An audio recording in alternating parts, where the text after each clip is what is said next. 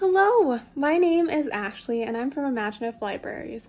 And today it has been very rainy and stormy outside, so I think it's the perfect day to create our own rainstorm inside and do a rainstorm science experiment. So to do the science experiment at home, all you need to do is gather four ingredients. So I have a clear jar, mostly full of room temperature water, like this.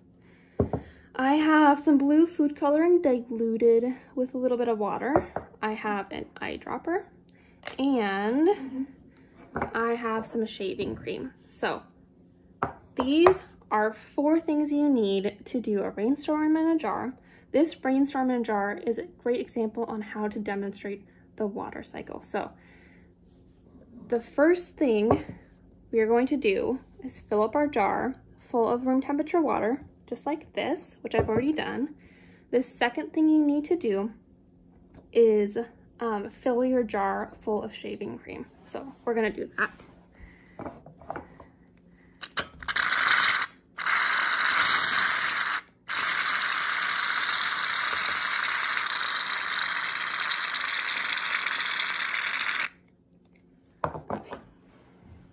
Ideally, there'd be a little bit more, but that's good enough. So this water in my jar represents air and the shaving cream on top obviously represents clouds. So when it rains outside, like it's been doing all day today, all that is is a bunch of water in the air that has gathered together and then it gets so heavy in those clouds. Those clouds are, are much heavier than they look.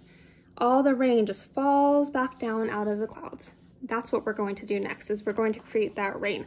So we have air, we have our clouds that are heavy with rain. Now we are going to make it rain. So my blue food coloring is going to represent the actual rain that's going to fall down. All I'm going to do is drop a bunch of my rain on top of my clouds. And as you can see, it has started to rain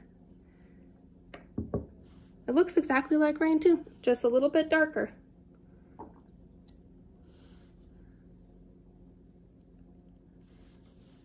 I bet it would even be cool with pink food coloring or red food coloring. That would be cool. Thank you guys for watching.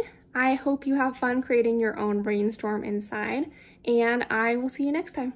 Bye.